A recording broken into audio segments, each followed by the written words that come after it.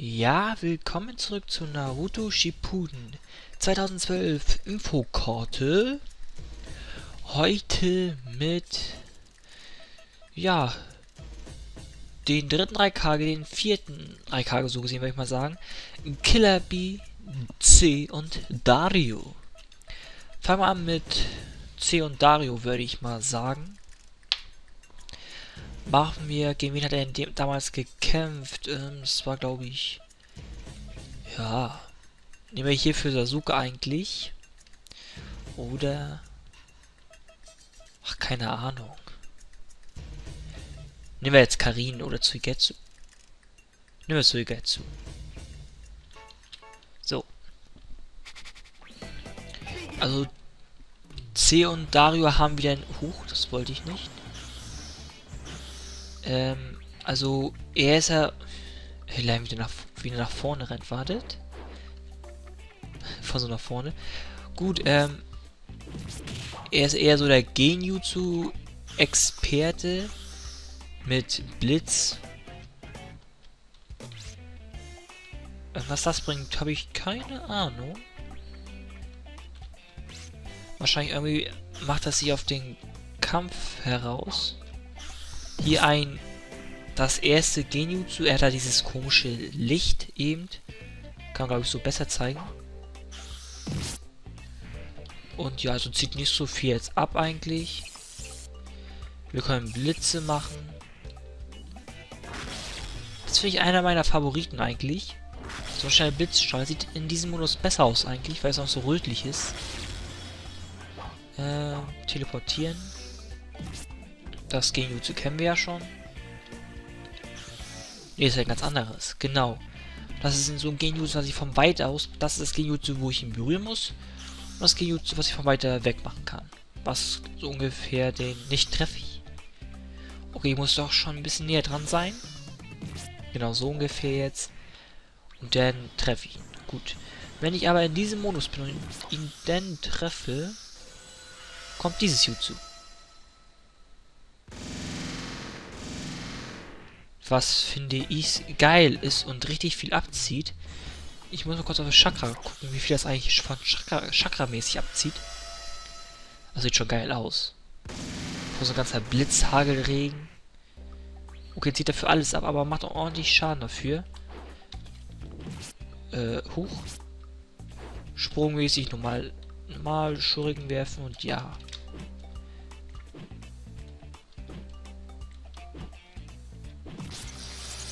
Oh, da habe ich, da habe ich jetzt schon wieder was Neues rausgefunden.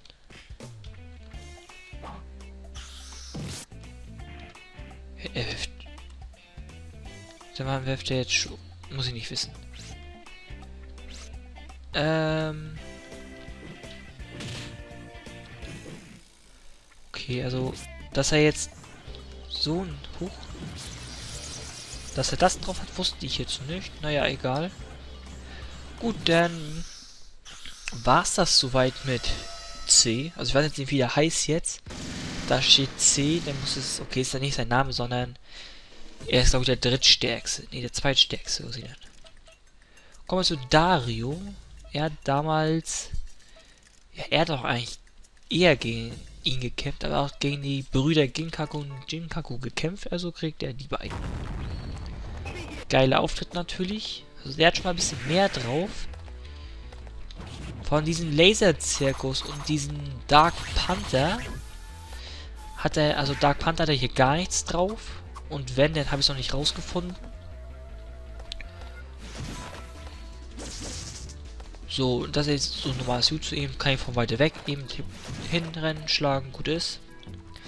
Ähm, dann kann ich Blitzfäuste 2 machen. Ähm, und dann die Jutsus eben. Die Wasserwand kann er ja eben. Was ich... Kann ich glaube ich auch von weiter weg machen. Aber er macht ja auch die Wasserwand mit Blitz eben. Was er auch damals gegen Sasuke eingesetzt hat. Ein Blitzstil vom Boden aus. Und das ist jetzt eben der Laser-Zirkus, würde ich tippen. Und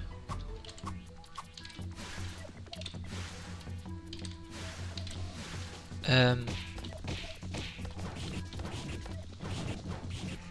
Und ich glaube, mehr da auch nicht drauf. Der noch eben. Dann sein teleportieren finde ich geil. Äh, und ja, das war's dann von Dario. Machen wir jetzt, würde ich mal sagen, den dritten Raikage gegen den zweiten Tsushikage. Die waren irgendwie fein, habe ich irgendwie mitgekriegt. Oder so. Das sind beide Untote. Und ja. Also der dritte Raikage geht schon ab. Also all allgemein die Raikagen.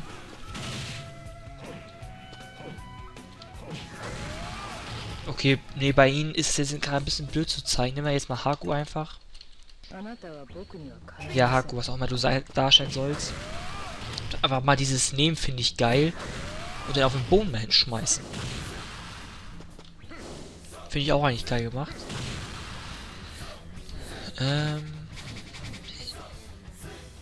Gut.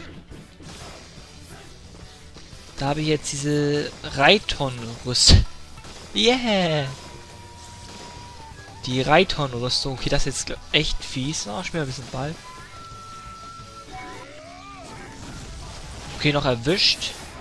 Dann macht er dieses ganz schnelle Hin und Her, zack, blutmäßig alles und dann nichts. Nochmal. Also, er geht schon ab.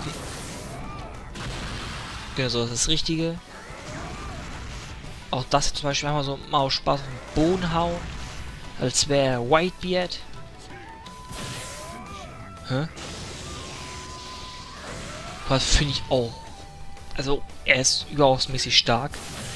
Im, am Kopf packen, einen Blitzschuss machen und dennoch auf den Boden schmeißen.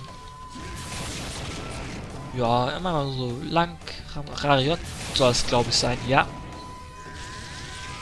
So ein Blitzschlag, Donnerblitz. Natürlich besitzen wir auch die Reiton-Rüstung. Das ist die Reiton-Rüstung eher. Ähm, ja, was macht er jetzt hier?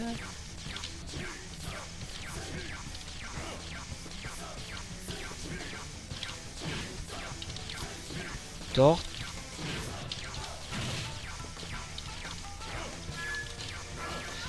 Doch, er besaß eine Attacke, das weiß ich. Genau. Das war die, okay. Jetzt haben wir zum Beispiel dieses Jutsu drauf. Einfach mal so Spaß drauf hämmern. Das war auch normal. Genau, und dann das hier noch. Was unglaublich geil aussieht. So, Bodenangriff. Einmal so zack, rausspringen. Okay, das macht er jetzt überall. Ich weiß nicht, wo wir stehen geblieben sind. Äh das Rariot besitzt auch normal und ja. Können wir natürlich wieder auflösen. Das war soweit der dritte Raikage. Beste Attacke fand ich eigentlich die jetzt hier, die sah am besten aus. Und ja. Gehen wir zum nächsten rüber. Zum... Ja, wollen wir jetzt zu Killerby oder zu Raikage? Na, beide sind so. Na, machen wir... Eigentlich ist es ja scheißegal. Machen wir jetzt Killerby. Ja, okay, gegen Hake jetzt scheißegal. Killer B. Oh yeah, schöner Rhyme. Killer B hat hier sehr... Kopf juckt. Sehr viele Attacken. Ähm... Gut, ich darf, ich will es nicht, da gehe ich jetzt in den... Gut, dann schauen wir nochmal. Er kann auf einmal... Okay, er kann nicht auf einmal, sondern diesen... Ich nenne ihn immer Steam Eagle. Wo er mir ganz Schwerter ankommt erinnert mich sehr an den neuen, nicht neuen Schwerter, sondern den neuen Schwerterstil. Wie viele Schwerter benutzt Killer Bee nochmal? 1, 2, 3, 4, 5, 6, 7 waren das, glaube ich. Dann schauen wir nochmal, was er drauf hat. In sein schönes Buch schreiben.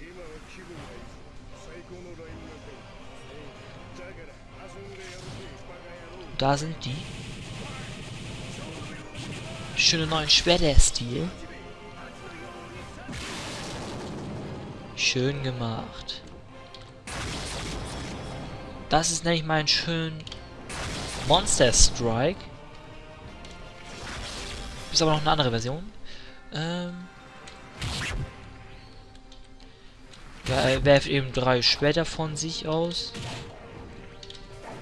Das ist das Rare J, würde ich jetzt mal tippen. Huch. Genau, deswegen auch, er steckt sein, ähnlich wie bei Suzuka eigentlich, sein Schwert in den Boden und kann Blitz erzeugen. Aber nur solange sein Chakra hochreicht. Nochmal bitte, das habe ich nicht so ganz mitgekriegt jetzt. Achso. Gut, dann würde ich's... Nö, hier macht er nichts, ne? Wenn wir zusammendrücken auch nicht. Gut, dann können wir jetzt in... In die... In das Chakra des Achtschwänzigen. Eigentlich ist jetzt... Also es ist alles das gleiche jetzt. Also wir können alles genau das gleiche. Genau, Sprungattacken kann ich mal kurz zeigen.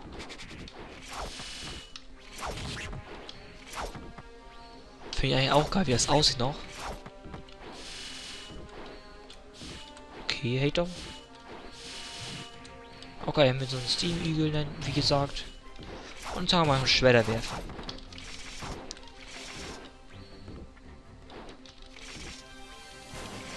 Ich kann keine Schwerter mehr werfen. Achso, kein Chakra. Also man kann nur eine gewisse Anzahl schmeißen. Okay, am Chakra liegt das jetzt. Okay. Aber ja, gut.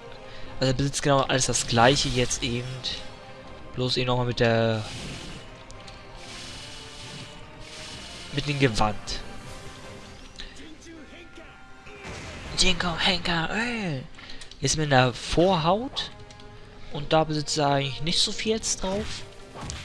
Weil wir sind jetzt eher schon am Ende, würde ich sagen, von Killer Bee schon fast. Da spuckt er einfach so Tinte mal hin. Wie geht denn Haku? Jetzt kann Haku sich nicht bewegen und wir könnten angreifen und ja. Natürlich besitzen wir das Rariot mit den Knochen. Und ja. Luft auch nicht so viel und jetzt kommen wir zum Highlight.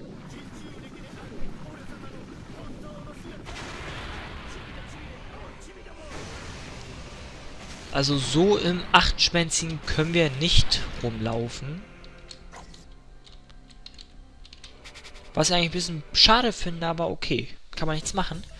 Kommen wir nun zum... Ja, Highlight, weiß ich nicht. Kommen wir zum... Ah, egal. Ist jetzt eben Haku, macht, kann man nichts machen. Gegen Raikage. Und er hat schon seinen Sprung hier. Ja, seine Sprungattacken des, ähm, des Raikagen, also dritten Raikage. Wir müssen ja so gesehen, wenn das sein Vater war, ja, sind wir der, das wollte ich nicht, sind wir ja der vierte. Also er ähnelt, oder soll auch, weiß ich jetzt nicht so ganz, eines Wrestlers erinnern. Also sieht auch so aus alles. So ein Gürtel hat, trägt er ja auch.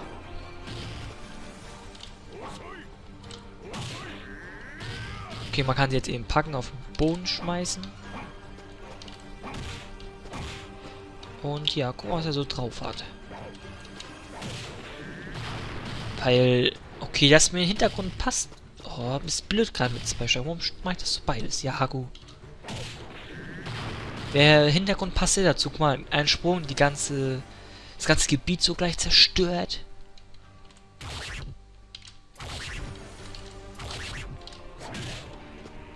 Ebenfalls das Rariot besitzt er. Ähm, ein Gatling aus Fußtritten. Jetzt mich sehr vom Bleach gerade sehr. Und ja, gehen wir nun in die Reiton-Rüstung. Ich nenne sie einfach jetzt mal so. Ich, ist auch, glaube ich, so richtig. das war das, was ich zuletzt zeigen wollte. Das war wahrscheinlich, würde ich jetzt tippen, Liger Bomb gegen Sasuke. So, zieht auch sehr viel ab und ja. Finde auch jetzt geil, diese Sprungattacke.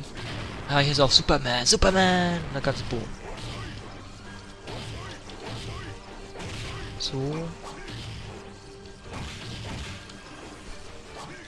Äh, genau, und alles gleich. Bam! Wie er angesprungen kommt. Gut, ähm, das kennen wir ja schon. Mit den Ellbogen kommt er angerannt.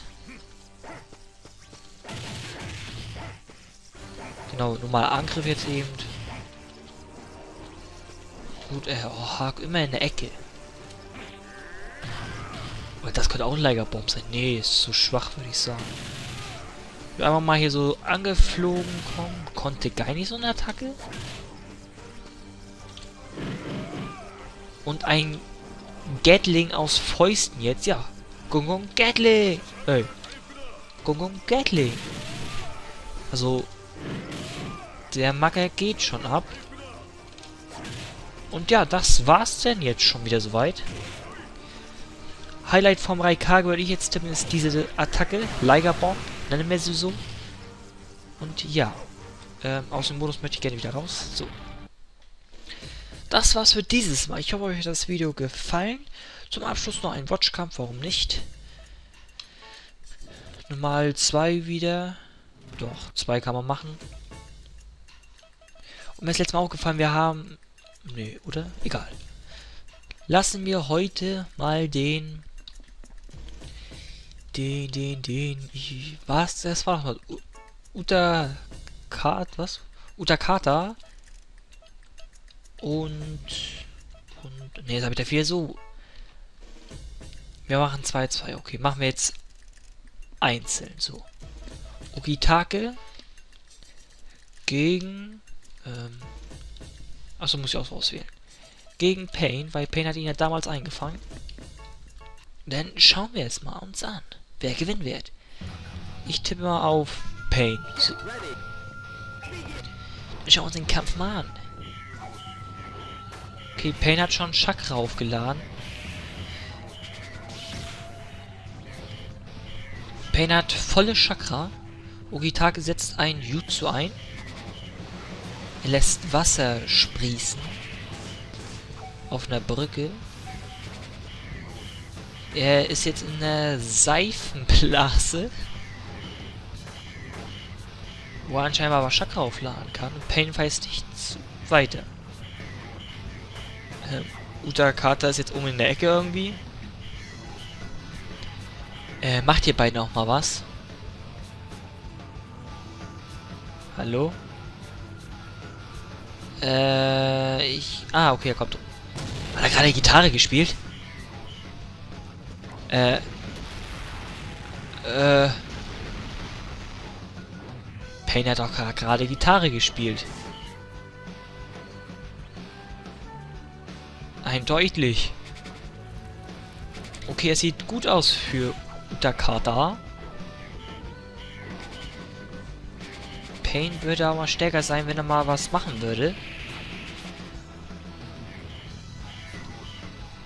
Was macht er? Okay, er macht zwei Wasserdrachen. Okay, mehrere. Und Ukitaka hat gewonnen. Die erste Runde. Also, das verstehe ich. Warum hat Pain Gitarre gespielt? Ja, mal so schnell eine Schockwelle. Also jetzt, Chakra-mäßig ist Pain natürlich wieder in Führung. Aber Pain macht nicht zu viel. Also, der ruft nicht seine Freunde jetzt oder so. Er will Chakra aufladen.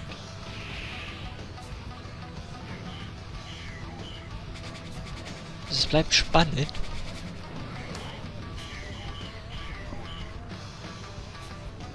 Äh, belegt er ungefähr für Utak Okay, Utakata macht jetzt ernst. Er ist im Sechsschwänzigen. Okay, er ist wieder rausgegangen. Warum? Okay, kein Chakra. Glaube ich. Naja, er kann auch so viel Schaden schon machen. Mit ein paar Seifenblasen. Was mich auch schon wieder interessiert, es kommen jetzt ähm, am war es 30, 30. März 2013 kommt ja Storm 3 raus, wo man ja auch alle Jinjuriki spielen kann. Und da wird behauptet, dass Utakata scheiße sein soll.